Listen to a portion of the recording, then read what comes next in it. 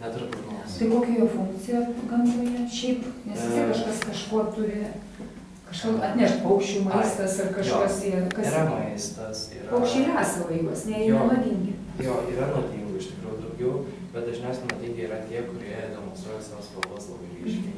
Tai visi va, oranžinis ar tas baltas. O tas juodas su raudonu pilvu E, kažkoks Jis, jo, tas šikšnosparnas, tai jis e, iš tikrųjų... Jis nuodingas, kur- e, Nemanau, kad jis nuodingas, jis visą laiką nutupęs būna nerodo tų spalvų, visą laiką būna juodas, o kaip šitas dabar.